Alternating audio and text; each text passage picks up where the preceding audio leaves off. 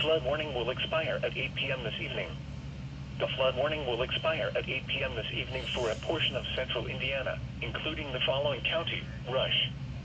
Flooding is no longer expected to pose a threat. Please continue to heed remaining road closures.